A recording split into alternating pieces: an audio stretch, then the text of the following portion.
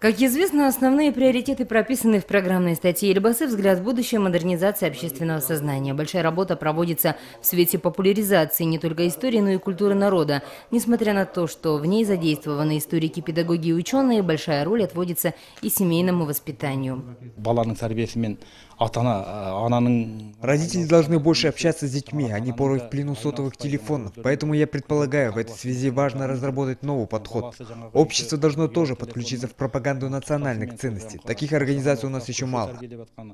Большая часть участников конференции «Родительская общественность», которая занята в педагогической деятельности. Естественно, для них воспитание подрастающего поколения в масштабном смысле слова – задача номер один –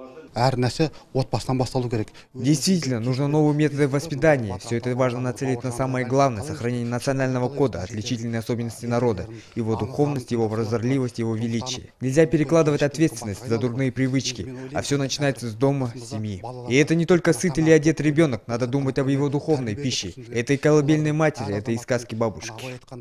Как отметили на конференции, подражание Западу не всегда позитивно влияет на молодежь, ведь казахский народ имеет свою ментальность, из поколения в поколение передавалось почитание старших и многое другое, а это хоть и незримая, но неприходящая ценность. Мадина Смогулова, Бибинур Какурова, Дархан Мужубаев, Кокши Акпарат.